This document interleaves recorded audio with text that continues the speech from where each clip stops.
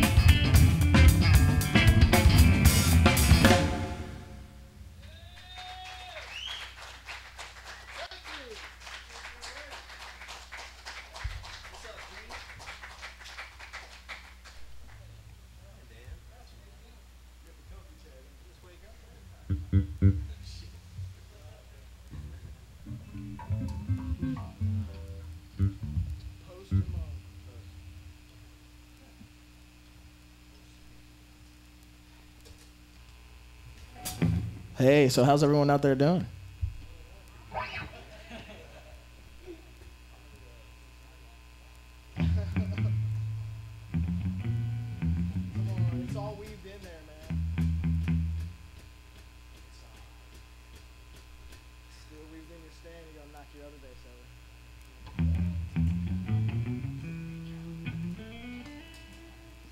Hey, how's everyone doing out there in Radio Land?